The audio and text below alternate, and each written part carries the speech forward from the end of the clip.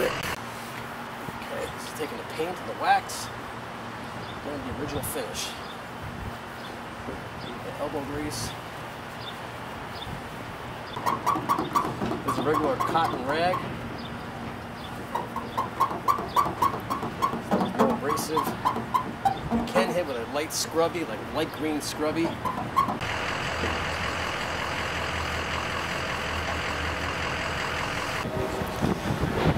And there's a part where they tried to get the paint off and took the paint right off the vehicle. Later on, they're going to strip this hood down. They're going to use our vintage to strip the roof down, the hood down on this, and repaint this car.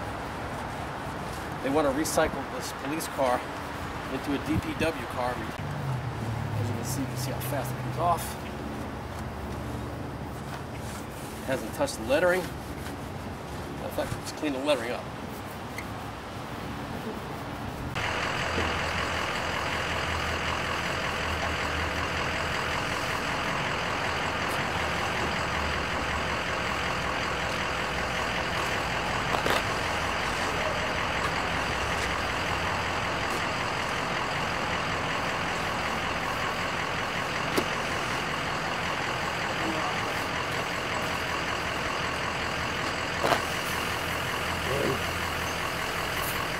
Sit. Look at this.